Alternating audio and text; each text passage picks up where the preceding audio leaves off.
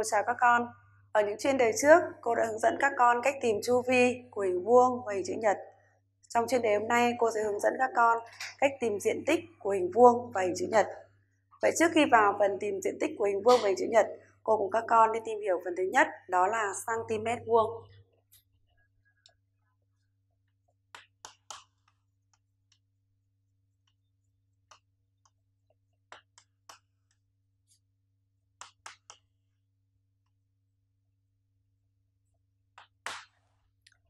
Vậy cm vuông là gì? Thì cm vuông đó chính là diện tích của một hình vuông có cạnh là 1 cm.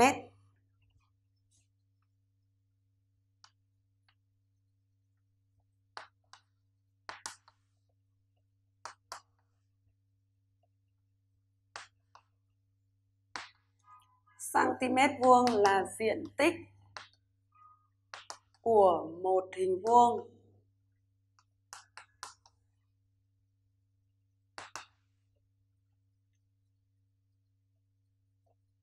có cạnh là 1 cm.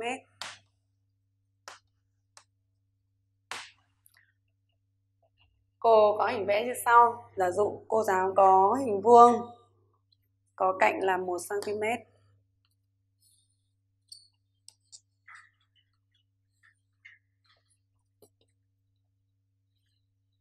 Cạnh của hình vuông là 1 cm.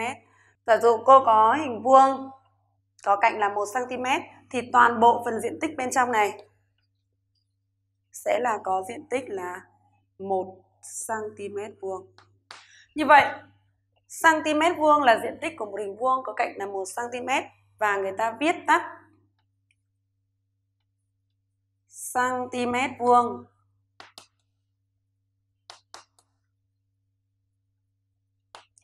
viết tắt là cm và có con thế con số 2 nhỏ bên góc phải. Và cm vuông người ta là dùng để đo diện tích của các hình. Và ở lên lớp trên các con sẽ được biết thêm các tên các đơn vị đo khác nữa như là decimet vuông, mét vuông hay là hectomet vuông. Như vậy các con đều thấy được cm vuông là đơn vị là đơn vị để đo diện tích.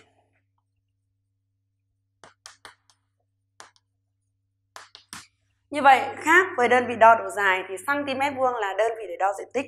Bây giờ chúng ta chuyển sang phần thứ hai, đó là đi tìm hiểu diện tích, cách tìm diện tích của hình vuông. Cô có hình vuông A, B, C, D. Hình vuông A, B, C, D có cạnh là 5 cm.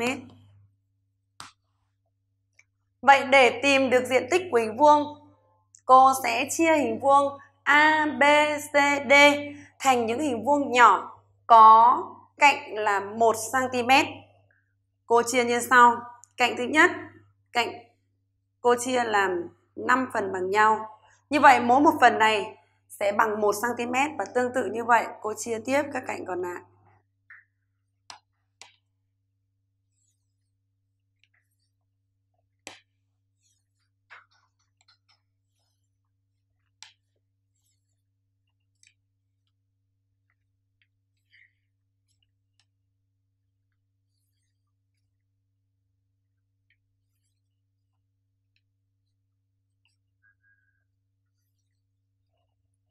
Như vậy cô vừa chia hình vuông A, B, C, D thành những hình vuông nhỏ có cạnh là 1 cm.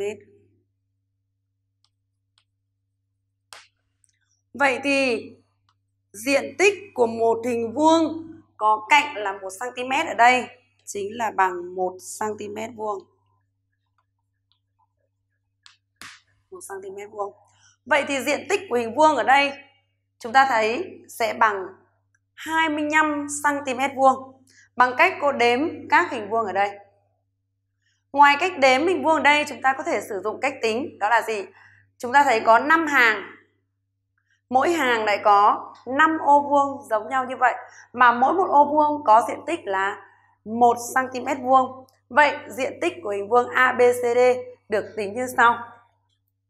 Chúng ta sẽ tính được diện tích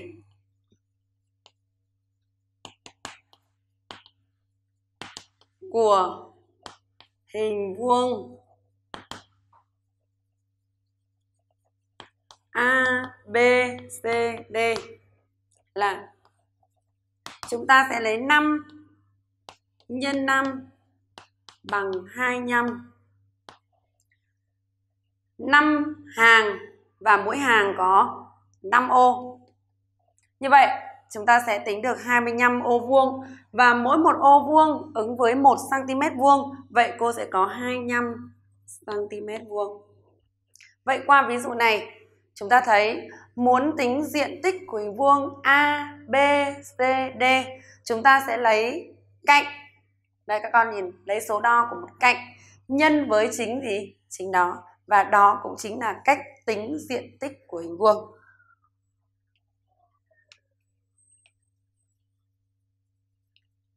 Muốn tính diện tích hình vuông.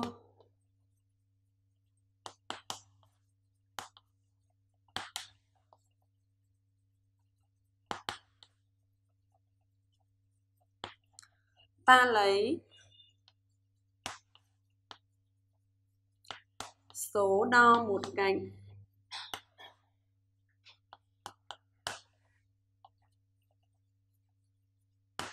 nhân với chính nó.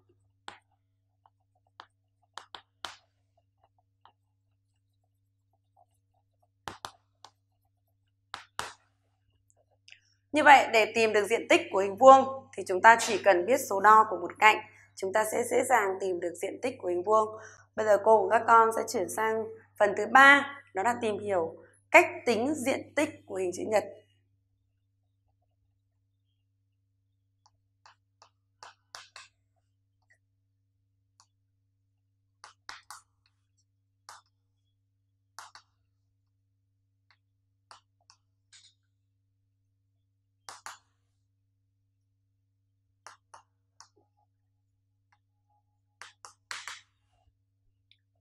Cô cũng có hình chữ nhật như sau.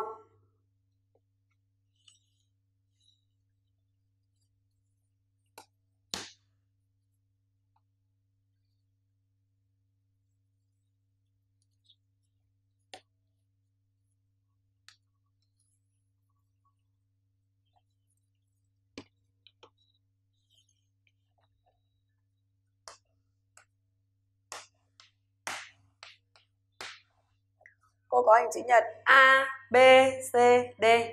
Hình chữ nhật của cô có chiều dài là 7 cm và chiều rộng là 4 cm. Vậy thì để tính được diện tích của hình chữ nhật này, cô cũng chia hình chữ nhật thành những ô vuông nhỏ có cạnh là 1 cm. Như vậy, chiều dài cô giáo sẽ chia được 7 đoạn thẳng bằng nhau. Và chiều rộng chia được 4 đoạn thẳng bằng nhau.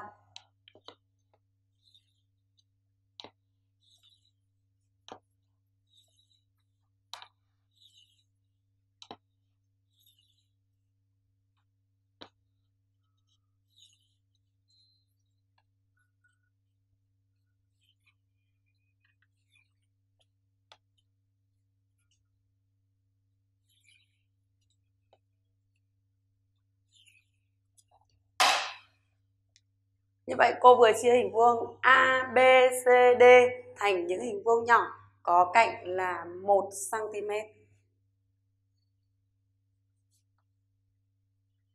Vậy thì mỗi một ô vuông nhỏ này của cô có diện tích là 1 cm vuông.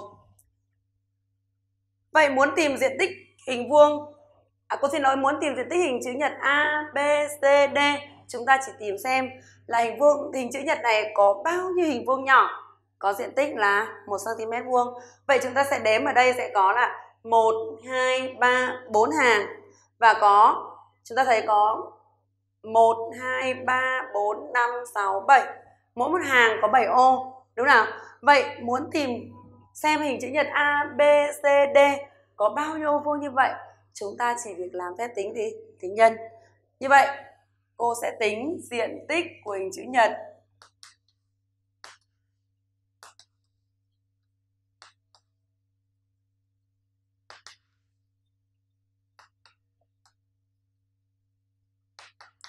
A, B, C, D là cô sẽ lấy 7 nhân với 4 bằng 28 cm vuông. 28 cm vuông. Và các con thấy 7 ở đây chính là độ dài cạnh dài của hình chữ nhật và 4 ở đây là chiều gì? Chiều rộng. Vậy thì muốn tìm diện tích của hình chữ nhật, chúng ta làm thế nào? Chúng ta chỉ việc lấy chiều dài nhân với chiều rộng. Nhưng lưu ý với các con ở đây là phải cùng một đơn vị gì? Cùng một đơn vị đo. Và đó cũng chính là cách tìm diện tích của hình chữ nhật. Muốn tính diện tích của hình chữ nhật.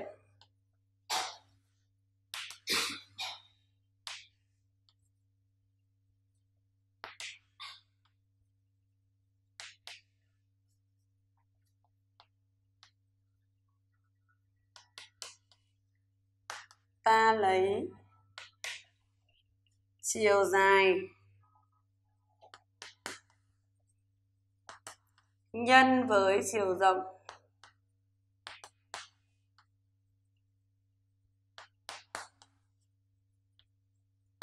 Và lưu ý ở đây là cùng đơn vị đo.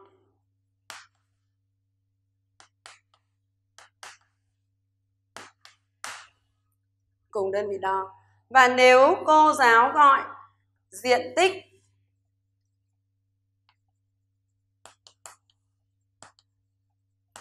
hình chữ nhật.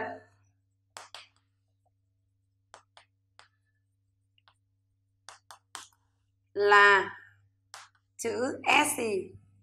Chiều dài. Là chữ A. Và chiều rộng. Là chữ B. Thì cô sẽ có công thức thế nào? Chúng ta sẽ có công thức như sau. S chính là diện tích hình chữ nhật sẽ bằng chiều dài nhân với chiều chiều rộng. Vậy thì từ đây chúng ta thấy là nếu cô muốn tìm chiều dài thì cô sẽ làm thế nào? Chúng ta sẽ có công thức tiếp theo. Đó là chiều dài của hình chữ nhật thì sẽ bằng diện tích sẽ bằng diện tích.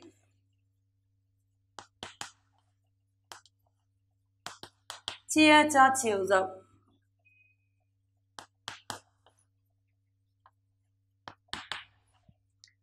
Và cô có công thức thứ ba nữa, đó là muốn tìm chiều rộng. Muốn tìm chiều rộng. Ta lấy diện tích. Chia cho chiều dài.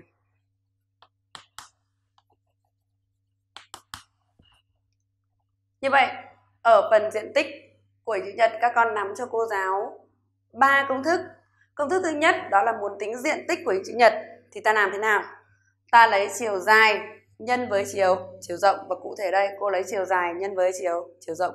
Và từ công thức diện tích của hình chữ nhật này, cô sẽ rút ra được hai công thức tiếp theo nữa đó là muốn tìm chiều dài của hình chữ nhật ta chỉ việc lấy diện tích của hình chữ nhật chia cho chiều chiều rộng và muốn tìm chiều rộng thì lấy diện tích chia cho chiều chiều dài và các con sẽ nắm chắc cho cô giáo các công thức này để chúng ta chuyển sang phần thứ hai đó là đi đi giải một số bài tập có liên quan tới diện tích của hình vuông và diện tích của hình chữ nhật.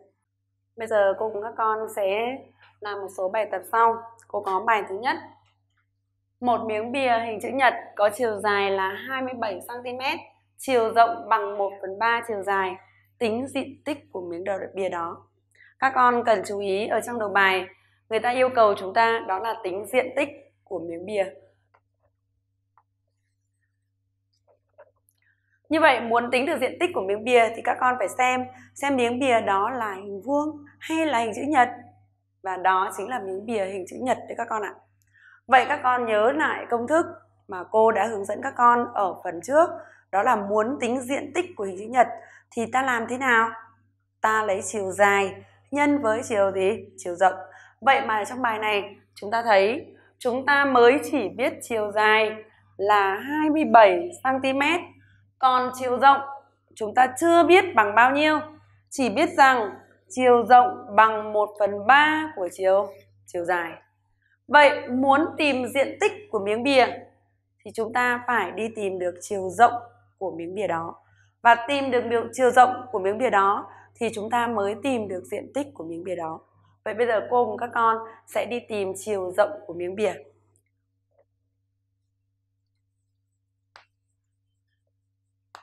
Chiều rộng của hình chữ nhật.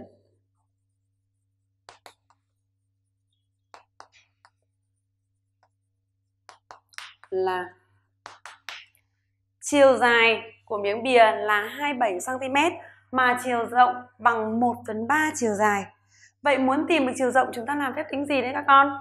Chúng ta sẽ làm phép tính chia, đúng nào? Các con sẽ lấy chiều dài chia làm 3 phần bằng nhau thì chiều rộng chiếm 1 phần 3 của chiều dài. Vậy chúng ta sẽ lấy 27 chia cho 3 bằng 9 cm. Tìm được chiều rộng của hình chữ nhật rồi, chúng ta sẽ dễ dàng tính được diện tích của hình chữ nhật đúng nào các con? Muốn tính diện tích của hình chữ nhật, chúng ta chỉ việc lấy chiều dài nhân với chiều chiều rộng. Vậy cô cùng các con sẽ tìm diện tích của hình chữ nhật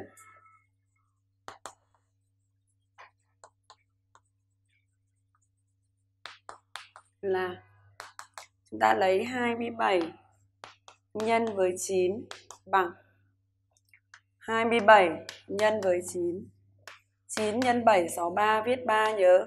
6 9 nhân 2 18 nhớ 6 là 24 như vậy bằng 243 cm vuông. Các con lưu ý là 243 cm vuông và đáp số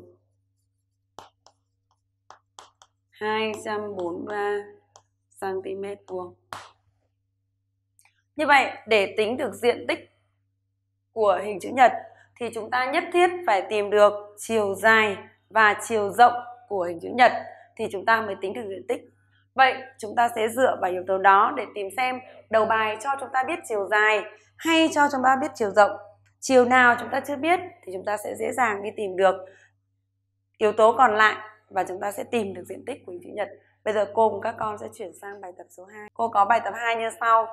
Một hình chữ nhật có diện tích là 120 cm vuông, chiều rộng là 8 cm, tính chu vi của hình chữ nhật đó. Vậy để tính được chu vi của hình chữ nhật, các con lại nhớ lại công thức ở những chuyên đề trước cô giáo đã hướng dẫn các con. Muốn tính chu vi của hình chữ nhật, ta phải lấy chiều dài cộng với chiều rộng rồi nhân 2. Vậy các con thử xem trong đầu bài cho chúng ta biết chiều nào rồi? Các con cùng đọc lại đầu bài và thấy được đầu bài cho chúng ta biết chiều rộng là 8 cm.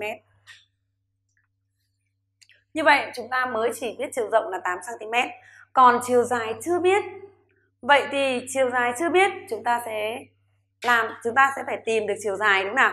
Vậy tìm vào chiều dài, chúng ta sẽ dựa vào yếu tố nào? Các con đọc tiếp đầu bài và chúng ta thấy trong đầu bài còn cho chúng ta biết tiếp đó là diện tích của hình chữ nhật bằng 120 cm vuông. Như vậy, đây là yếu tố sẽ giúp chúng ta tìm được chiều dài của hình chữ nhật. Vậy tìm như thế nào? Các con nhớ lại công thức mà cô vừa cung cấp cho các con ở phần trước, đó là từ công thức của diện tích hình chữ nhật, cô đã tìm ra được đó là muốn tìm cho chiều dài, muốn ra tìm ra chiều rộng. Muốn tìm chiều dài thì chúng ta lấy diện tích chia cho chiều chiều rộng. Còn muốn tìm chiều rộng, chúng ta lấy diện tích chia cho chiều chiều dài. Vậy thì dựa vào yếu tố này, chúng ta sẽ tìm được chiều dài của hình chữ nhật và tìm được chiều dài rồi chúng ta có chiều rộng chúng ta sẽ tính được chu vi của hình chữ chữ nhật vậy thì ban đầu cô cùng các con sẽ đi tìm chiều dài của hình chữ nhật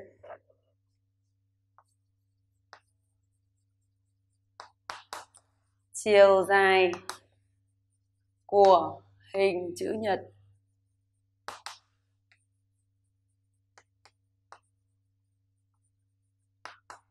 là Muốn tìm chiều dài, cô lấy diện tích là 120 chia cho chiều rộng là 8. Và kết quả đây bằng 15 cm.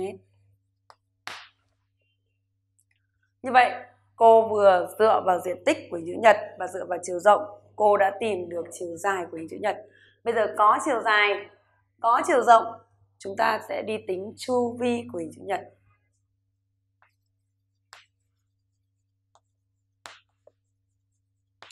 chu vi của hình chữ nhật